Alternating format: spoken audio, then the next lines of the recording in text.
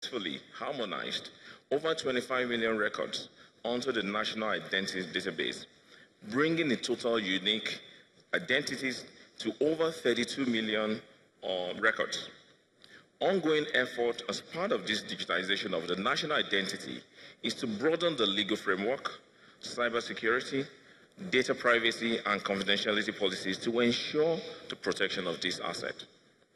It is important that we get these policies right and to provide trust between government and the citizens and ensure protection of vital data from all the challenges posed by digitization. It is exciting, however, listing the numerous opportunities that a harmonized digital identity platform will bring to the private sector, especially the exchange, the Nigerian Stock Exchange, and others in the financial services sector. It will open up a whole new market segment, either though not accessible due to constraints with KYC.